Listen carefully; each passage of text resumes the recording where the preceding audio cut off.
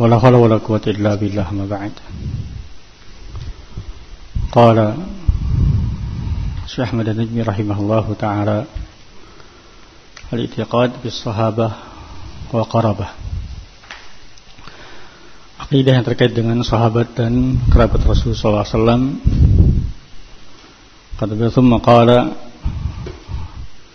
hubbus sahabati kullihim li madhhabun wa mawaddatul qurba biha atawassalu. Kecintaan kepada seluruh sahabat itulah madhabku.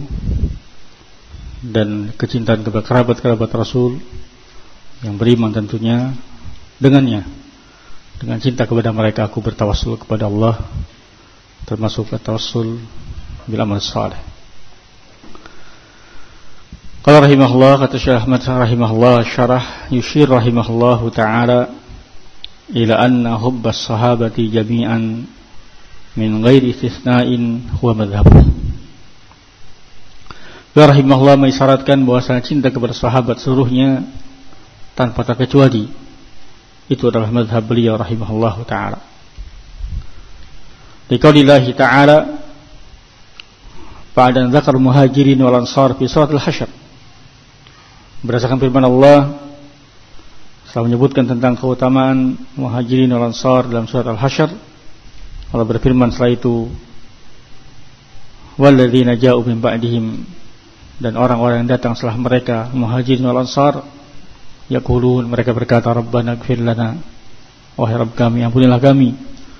Wa ikhwanina alladzina sabaquna bil iman dan juga ampuni orang-orang saudara-saudara kami yang telah mendahului kami dalam iman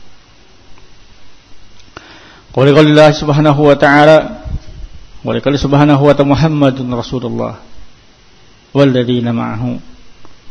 Asyidda wa lakufar rahma'u bainahum Iya. Walladina ma'ah.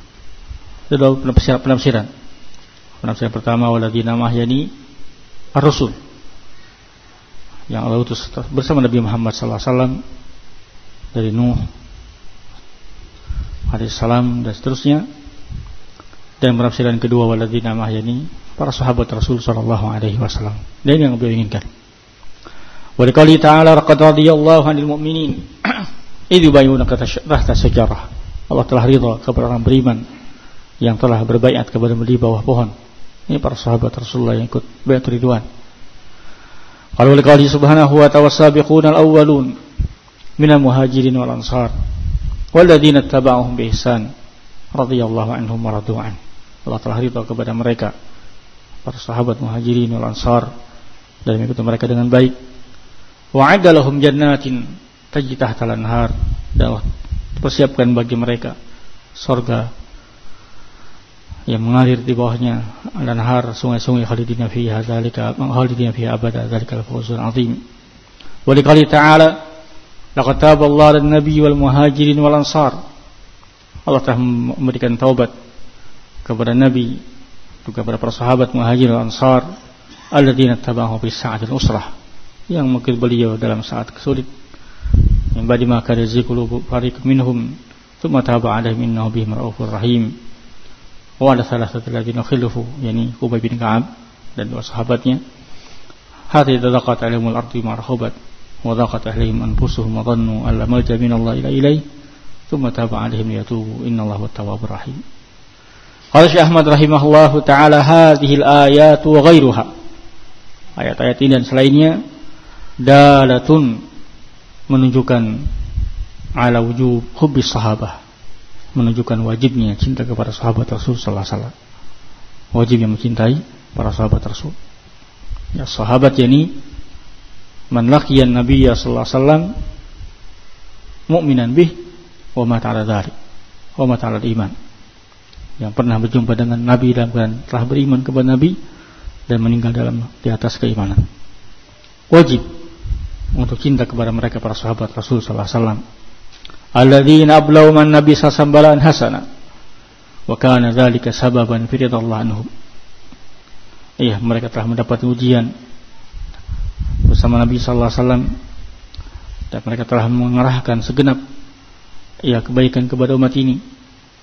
Dan inilah sebab Allah meridai mereka. Lithabatihim ala nusrati nabiyihim alal haq. Ya karena sahabatnya mereka kokohnya mereka di dalam membela Nabi Muhammad sallallahu alaihi wasallam alal haq. Wahakadha demikianlah. Yajibu ala kulli muslim wajib atas setiap muslim an yuhibba jami'as sahabah untuk mencintai seluruh sahabat wala takallama ala ahadi minhum bisu dan tidak bicara tentang para sahabat tentang seorang seorang tentang seorang pun dari mereka dengan kejelekan. Ya dalam kitab Aqidah Wasitiyah beliau menyatakan menyatakan apa? Min usuli ahli sunnah wal jamaah ya salamatu qulubihim wa sinatihim li ashabi Rasulillah sallallahu alaihi wasallam. Kata Ibnu Taimiyah dalam Aqidah Wasitiyah ya di antara usul ahli sunnah wal jamaah adalah selamatnya lisan mereka dan kalbu mereka terhadap para sahabat Nabi Muhammad sallallahu alaihi wasallam. Yajib ala kulli muslim an yuhibba jami'al ashab sahabah wa la yatakallama ala ahli minhum bisu liqaulihi sallallahu alaihi wasallam hal antum tariku li sahibi apakah kalian mau meninggalkan untukku sahabat sahabatku walladhi nafsu Muhammadin biyadihi Lau anfaqa ahadukum misla uhudin dhahaba. Kalau kalian berinfak satu gunung Uhud emas Ma balaka mudahadihim Tidak akan bisa mencapai infaknya setengah mud mereka atau satu mud mereka atau setengah mudnya mereka berinfak walaupun bukan dari emas. Infak emasnya kalian dibandingkan satu mud iya mereka berinfak dengan tamar dengan gandum yang lainnya tidak akan bisa iya infak yang kalian emas itu menyamai infak para sahabat satu mud atau setengah mud. Karena ya keutamaan suhbah itulah ya'dilu syai tidak bisa tertandingi dengan keutamaan yang lainnya. Qala rahimahullahu taala wa qawluhu wa mamatul qurba biha tawassalu dan kecintaan kepada kerabat-kerabat Rasul salah satu yang beriman dengan yang aku bertawassul kepada Allah ya termasuk tawassul dengan amal saleh ada tawasul dengan kecintaan kita kepada para sahabat, para ahlul bait, ya para kerabat Rasulullah yang beriman. Ai kata beliau rahimahullahu taala, anna mahabbata qarabatin nabi sallallahu alaihi wasallam biha atawassul ila Allah. Kecintaan kepada kerabat-kerabat Nabi sallallahu alaihi wasallam ya dengannya dengan kecintaanku kepada mereka aku bertawassul kepada Allah Subhanahu wa taala. Ya tawassul dengan amal baik amal saleh. Warjuhu an yaghfira li dhunubi aku berharap dengannya Allah mengampuni dosa-dosaku wa yudhilani yaumaddin mudkhala man ghadiyanhum minas sahabah dan aku berharap dengannya aku dimasukkan oleh Allah di hari pembalasan nanti di tempat masuknya orang-orang Allah ridai jadi kalangan para sahabat Rasul sallallahu alaihi wasallam dan kerabatnya Rasul sallallahu alaihi wasallam Allah Subhanahu wa taala yaqulu qul la as'alukum li ajra illa al-mawadata bil qurba Ay illa an tuwaddu qarabati. Aku tidak minta balasan kepada kalian kecuali agar kalian mencintai kerabat-kerabatku wa tujilluhum memuliakan mereka wa tu'zimuhum di qurbihim minni wal suhbati. Ya karena mereka adalah kerabatku dan mereka adalah sahabatku qala rahimahullahu taala wa ja'a fil hadits ani nabi sallallahu alaihi wasallam qala Ana khiyarun min khiyar ibn khiyar. Aku adalah orang pilihan dari golongan terpilih dan dari iya saringan orang terpilih. Inna Allah ikhtar al-Arab bin Bani Adam. Pada Allah memilih bangsa Arab dari Bani Adam. Wa ikhtara Kinanah min Arab dan memilih Bani Kinanah dari sekian iya kabilah di Arab. Wa ikhtara Quraisyan min Kinanah dan memilih Quraisy dari Bani Kinanah wakhtara bani Hashim min Quraisy wakhtarani min bani Hashim. Dan aku adalah saringan pilihan dari sekian bani Hashim. Maka fa'ana khiyarun min khiyarin min khiyar kama qala sallallahu alaihi wasallam. Ini dua poin yang terkait dengan akidah sunnah cinta kepada para sahabat Rasul sallallahu alaihi wasallam semuanya ya tanpa terkecuali dan cinta kepada kerabat Nabi Muhammad SAW yang beriman Kemudian beliau rahimahullahu taala berkata, kata beliau rahimahullahu taala wa likullihim qadrun alayhi wa fadailu. Dan masing-masing mereka memiliki keutamaan, memiliki kedudukan dan keutamaan. Walakin lakin nama siddiqu minhum afdal. Tetapi as-siddiq Abu Bakar as-Siddiq itu adalah yang paling utama di antara mereka semua. Qala Syekh Ahmad Najmi rahimahullahu taala yushiru bihadza ila al-mufadalah bain sahabah. Beliau mengisyaratkan adanya mufadalah perbedaan keutamaan di antara para sahabat. Ai mahubbihim jami'an bersamaan dengan cinta kepada mereka semua wajib cinta kepada mereka semuanya fal adillatu dalil juga menunjukkan ada tafdhil Abi Bakar ala ghairi dalil juga menunjukkan ya lebih utamanya Abu Bakar Siddiq dibandingkan yang lain minas sahabat radhiyallahu anhu. Coba kemudian tafdil Umar ada syair kemudian ia mengutamakan Umar daripada yang dari seluruh selain Abu Bakar Siddiq radhiyallahu anhu. Thumma tafdil Utsman, thumma Ali, thumma as-sittah al-baqin min asrah. Kemudian enam orang lainnya jadi sepuluh orang dipastikan masuk surga.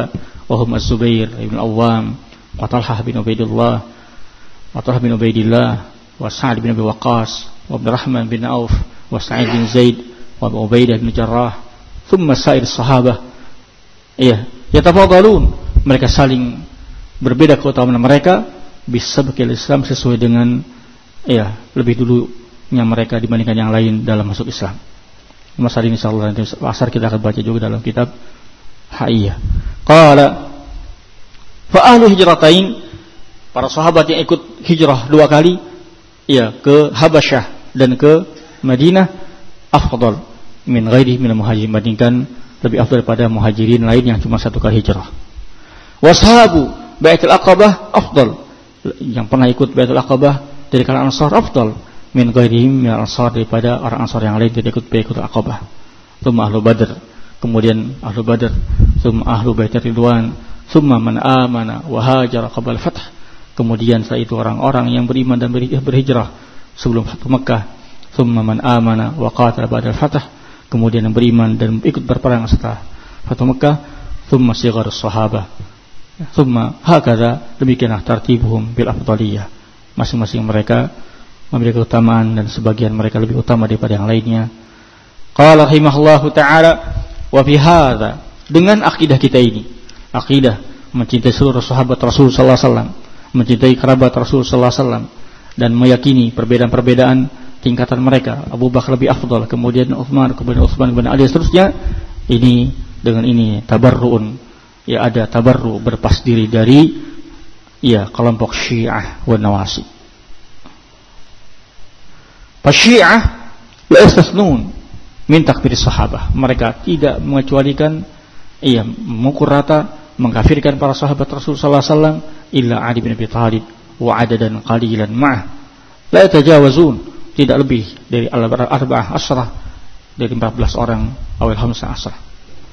Kalau wan nawasib sebaliknya, ya tawallawna sahabat mereka berwala kepada sahabat tetapi wabiyadun ahl bait mereka membenci ahlul bait adapun ahlu sunnah cinta kepada semua sahabat dan juga cinta kepada ahlul bait Rasulullah SAW yang beriman qala waqital firqatain ala qalal. Dan dua-duanya asyiah dan nawasib dua-duanya di atas kesesatan.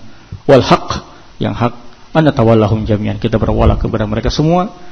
Para sahabat Rasulullah SAW dan ahlu bait yang beriman. Wa nuhibbuhum kita cinta kepada mereka. Wa nunzilu manazilahum kita dudukkan mereka pada tempat mereka. Allati anzalahum Allah taala yang telah berikan kepada mereka. Alhamdulillahirabbil alamin Ya, selesai masalah sahabat dan kerabat. Jadi ini sekitar kita, kita, baca nanti sore terkait ini di HIA ya, insyaallah. Allah alam. Insya